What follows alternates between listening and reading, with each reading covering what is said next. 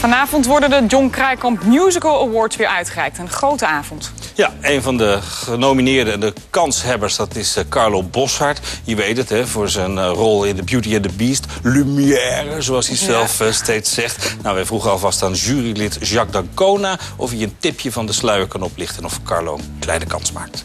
Presenteert uw diner. Vanavond dus die Musical Award. Ja, ik denk dat het een moeilijke, moeilijke avond wordt voor Carlo Bossart. Want ik krijg hem gewoon niet. Hij gaat naar ARA. Uh, daar zet ik uh, mijn geld op in. We wijzen dus de musical van het jaar niet aan. Maar wel verdelen we 12 John Krijkamp Musical Awards. Ik moet van ARA zeggen, die kwamen naar me toe. ARA is ook genomineerd natuurlijk. Die zei, die zei van je hebt 25% kans. Mensen denken altijd dat het alleen maar gaat om die hoofdrollen. Of om die bijrollen. Of om het beste aanstormende talent.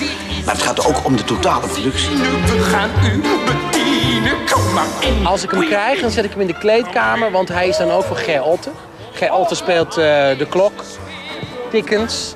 En uh, dat doet hij fantastisch. Dan draag ik hem op aan Ger. Nou, Albert Verlinde die is producent van de musical Annie. En die heeft maar één nominatie. Dat is een beetje teleurstellend, vindt Albert. En hij denkt nu dat de jury innige banden onderhoudt... met Joop van den Ende, die natuurlijk de initiatiefnemer... van die uh, musical awards is geweest. Nou, Joop is er vanavond niet. We kunnen het hem niet vragen, want hij is nog steeds herstellende. En ik denk ook dat het voor zijn herstel beter is als we het hem niet vragen.